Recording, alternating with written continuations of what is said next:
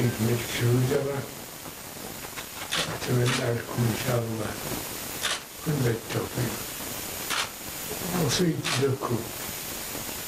دائما أنظر إلى المصلحة العامة ومصلحة الوطن.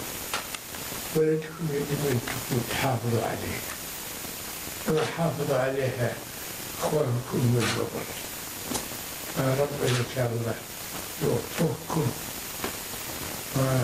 وأتمنى لكم إن شاء الله كل التوفيق وثقتنا فيكم كاملة وانتظر إن شاء الله منكم كل خير ورئيس الوزراء أنا شاكر على هذا الاختيار شكرا